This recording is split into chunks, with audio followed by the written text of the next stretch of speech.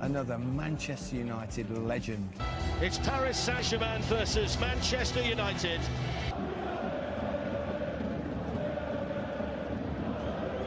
Tis Sanchez and the suspended Paul Pogba drop out from Saturday's team. The United bench includes five teenagers. Referee tonight is Damir Skomina from Slovenia with uh, VAR in operation as well. Kehrer, Bernat, Verratti and Draxler are all uh, booking away from suspension should they get through. Let's see how it pans out. Let's see how mobile they are. Let's hope. There's a bad ball. Here's the chance. It's Lukaku, and he's around the goalkeeper, and he squeezed it in. And what a start that is for Manchester United in Paris.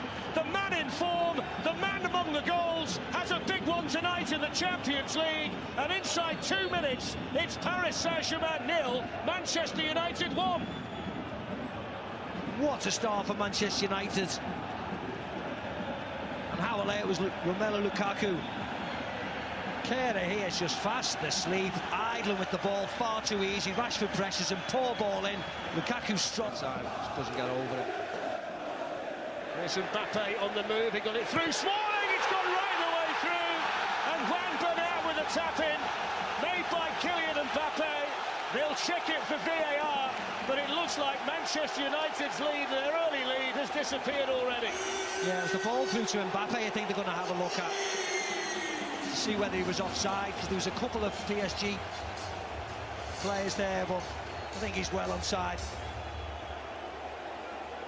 I mean, since the goal, they've looked Paris, they've looked dangerous, Paris, and this was just a really good run by Mbappe in front of him. And... Oh, Neymar's back, it's good to see. Supported outside him by Shaw. He's got himself, spilled by Buffon. Oh, they've got another one! And it's him again, Romelu Lukaku who scores two goals in a game for the third game in a row after a howler from Gianluigi Buffon. Paris Saint-Germain won, Manchester United two. Yeah, and you see how he hits it. Marcus Rashford makes up for his last mistake. Loads of dip on the ball. Buffon cannot control it at all. And who's the one thinking the worst case scenario is the goal scorer who's in great form at the minute and full of confidence. It's Lukaku. He's more than... Just left a bit on the McTominay over there as well now, Di Maria. Yeah.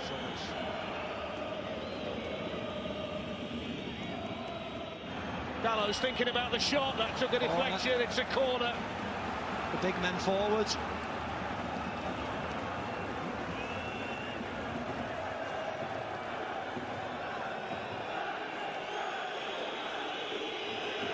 Solskjaer's down there thinking corners worked brilliantly in 1999. Yeah. Oh, he smashed it in! What a penalty from Marcus Rashford! Manchester United with another glorious night in the Champions League. United heading through to the quarter-finals. Marcus Rashford, the coolest man in the place.